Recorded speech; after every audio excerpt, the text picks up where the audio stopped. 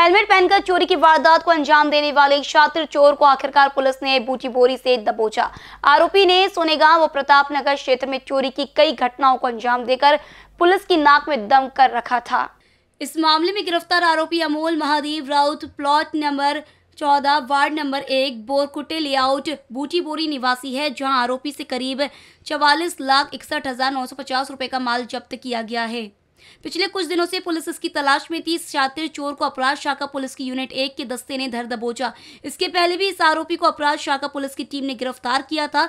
इस शातिर चोर को दबोचने वाले दस्ते को पुलिस आयुक्त अमितेश कुमार ने पचास हज़ार रुपए के रिवार्ड देने की घोषणा की थी। यह कुख्यात चोरी करने के बाद मौज मस्ती करता था। इसके खिलाफ शहर के विविध थानों में चोरी के कई मामले दर्ज किए गए हैं। पुलिस सूत्रों से मिली जानकारी के अनुसार सोनेगांव, अजनी और प्रतापनगर क्षेत्र के मकानों में चोरी की घटनाएँ बढ़ गई थी। फलस्वरूप इस क्षेत्र की पुलिस परेशान हो गई थी। आरोपी को दबोचने के लिए अपराध शाखा पुलिस विभाग की यूनिट वन के दस्ते को भी ज़िम्मेदारी सौंपी गई थी। पुलिस दस्ते ने सोनेगांव व प्रताप नगर परिसर में लगे कई सीसीटीवी कैमरे के फुटेज निकाले। इस दौरान दस्ते ने हिस्ट्री शीटरों की खोजबीन शुरू की। सीसीटीवी फुटेज में आरोपी अमोल राउत नज़र आया, मगर सिर पर हेलमेट पहने होने के कारण दस्ते के अधिकारी कर्मचारी उसे पहचान नहीं पा रहे थे। पुलिस दस्ते के कर्मचारियों ने अमोल को उसके घर से दबोचा। पूछताछ में उसने सोनेगांव और प्रतापनगर में कई मकानों में चोरी करने की बात कबूल की। यह अकेला ही चोरियाँ करता था। उसे अपराध शाखा पुलिस विभाग एक के कई कर्मचारी पहचानते थे। उसका सिर टक्कल होने के कारण आसानी से पहचान लिया जाता था, जिसके चलते वह हेलमेट पहनकर चोरी करता था। मिली जानकारी के आधार पर आरोपी अमोल को गिरफ़्तार करने के बाद पुलिस दस्ते ने उसे करीब चौंतीस लाख पैंसठ हज़ार रुपए के पैंसठ तोले सोने के गहने साठ हज़ार रुपए की तिरसठ तोला चांदी के गहने तेईस हज़ार तीन सौ चालीस रूपए के दो सौ अस्सी यूएसए डॉलर छह लाख बानवे हज़ार रूपए नकदी, एक लाख सत्तर हज़ार रूपए के दो दो पहिया वाहन, बीस हज़ार रूपए के मोबाइल फ़ोन सहित करीब चवालीस लाख इकसठ हज़ार नौ सौ पचास रूपए का माल जब्त किया है। आरोपी ने पूछताछ में पुलिस दस्ते को बताया कि सोनेगांव में छह प्रताप नगर में तीन और अजनी परिसर के मकानों में चोरी की है। वह पहले रेकी करता था, इसके बाद मौका पाकर चोरी करता था। यह घर में लगे सीसीटीवी का डीवीआर भी चुरा कर ले जाता था। इसके बावजूद पुलिस दस्ते ने उसे खोज निकाला। जी, पिछले पंद्रह बीस दिनों में दिवाली के समय में काफ़ी लोग बाहर गए हुए थे।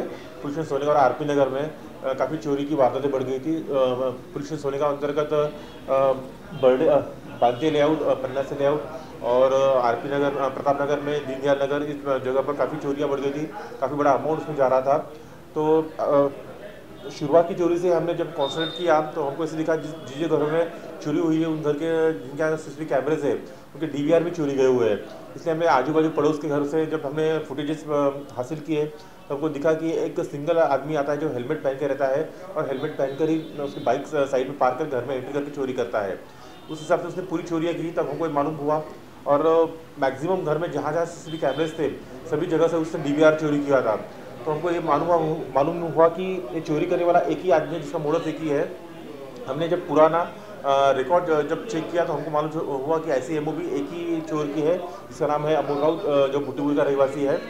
उसको हमने जब धर दबोचा, तब उसने सारे गुने कबूल किए। लगभग उसने दस चोरियों करने की मालूम हमको दी और पूरा तपास करने के अंत में हमने उसके पास से total forty four lakh sixty one thousand nine hundred fifty rupees का माल ये जब्त कर लिया है। इसके ऊपर, इसके पहले नागपुर शहर में एम आर सी वाड़ी और इतर थानों में टोटल चौदह गुणे दाखिल है। 2014 से ये सक्रिय है। इसका मोडस है, ये बंद घर को पहले रेखी करके देखता है।